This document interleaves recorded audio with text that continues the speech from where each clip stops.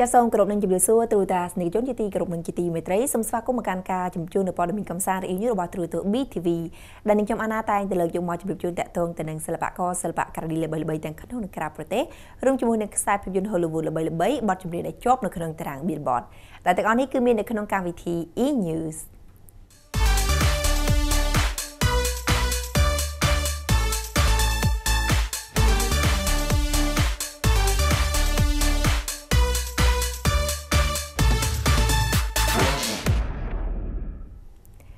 ទ្រូតាសនិកជនជាទីគោរពនឹងជាទីមេត្រីសម្រាប់ព័ត៌មានដំបូងដែលនឹងជម្រាបជូនទស្សនិកជននៅក្នុងថ្ងៃនេះតែម្ដងគឺតកតងទៅនឹងព្រឹត្តិការណ៍នៃការឈប់សម្រាករយៈពេល5ថ្ងៃឃើញថានៅតាមបណ្ដានីតិនីខេត្តជាច្រើនគឺបានក្រុងនឹងរៀបចំនៅកម្មវិធីកំសាន្តកំសាន្តជាច្រើនដើម្បីទទួលស្វាគមន៍នៅបងប្អូនប្រជាពលរដ្ឋខ្មែរយើងដែលបានវិលត្រឡប់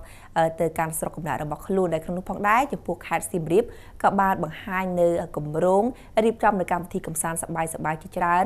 សម្រាប់ឱកាសនៅថ្ងៃឈប់សម្រាកនេះផងដែរ។ហើយថ្ងៃ នេះខ្ញុំសូមថ្លែងអំណរគុណចំពោះនៅថ្ងៃទី17និងថ្ងៃទី18ខែសីហាឆ្នាំ2020ខាងមុខគឺនៅក្នុងកំឡុងថ្ងៃសងឈប់សម្រាកនោះអាញាធរនិងសហភាពសហព័ន្ធយុវជនកម្ពុជាខេត្តសៀមរាបក្រុងរៀបចំឲ្យមានព្រឹត្តិការណ៍កំសាន្តដើម្បីបង្ហាញនិងផ្សព្វផ្សាយអំពីសក្តានុពលទេសចរសវត្ថភាពគម្រោងធំធំទាំងនោះរួមមានដូចជាពិធីសាសនាពិព័រណ៍ផ្សារទឹកជីកង់សប្បុរសធម៌ដើរកំសាន្តព្រៃធម្មជាតិ ក្រៅពីប្រាសាទនិងកម្មវិធីលម្អិតកំសាន្តសប្បាយៗជាច្រើនផ្សេងទៀត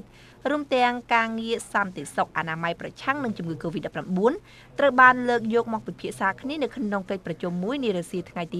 27ខែកក្កដាកន្លងទៅក្រោយការចូលរួមដោយស្ថាប័នជំនាញពាក់ព័ន្ធជាច្រើននៅក្នុងនោះផងដែរក៏មានវិស័យឯកជនធុរជន និងប្រតិបត្តិការទេសចរ ឯកឧត្តមទីសេហាអភិបាលខេត្តសៀមរាបដែលជាប្រធានដឹកនាំកិច្ចប្រជុំនោះបានសង្កត់ធ្ងន់ថារយៈពេលជាងកន្លះឆ្នាំកន្លងមកនេះ ដែលស្ថិតនៅក្នុងវិបត្តិ COVID-19 ខេត្តសៀមរាបបានប្រើប្រាស់កំឡុងពេលនោះជាឱកាសនៃការរៀបចំត្រៀមលក្ខណៈសម្បត្តិធ្វើឲ្យវិស័យទេសចររស់ឡើងវិញនិងប្រសើរជាងមុនក្រោយពេលដែលវិបត្តិ COVID-19 ស្ងប់ស្ងាត់ទៅវិញយ៉ាងណាក៏ដោយក្រោយការអនុវត្តតាមអនុសាសន៍ដ៏ខ្ពង់ខ្ពស់របស់សម្ដេចតេជោប្រមុខរាជរដ្ឋាភិបាល និងការណែនាំរបស់ក្រសួងសុខាភិបាលការចម្លងវីរុសកូវីដ -19 ចូលដឹកក្នុងសហគមន៍ពុំមានកើតឡើងនោះទេមកដល់ពេលនេះវាជាកលៈទេសៈដែលត្រូវបានគិតគូរអំពីការបង្ហើបឲ្យមានដង្ហើមសេដ្ឋកិច្ចជាបណ្ដាបណ្ដាឡើងវិញ តាមរយៈវិស័យទេសចរតែវាមិនត្រូវបានឃ្លាតឆ្ងាយអំពីការពង្រឹងវិធានការប្រឆាំងនឹងជំងឺ Covid-19 ដើម្បីសុខភាពប្រជាជននិងដើម្បីសុវត្ថិភាពសហគមន៍នោះឡើយគោលបំណងសំខាន់សំខាន់នៃការរៀបចំព្រឹត្តិការណ៍កំសាន្តក្នុងថ្ងៃឈប់សងសម្រាប់នេះ វាស្មើនឹងការផលិត spot ផ្សព្វផ្សាយមួយជាមួយនឹងការអះអាងថាសៀមរាបអង្គរគឺជាគោលដៅទេសចរសវត្ថភាពរបស់កម្ពុជា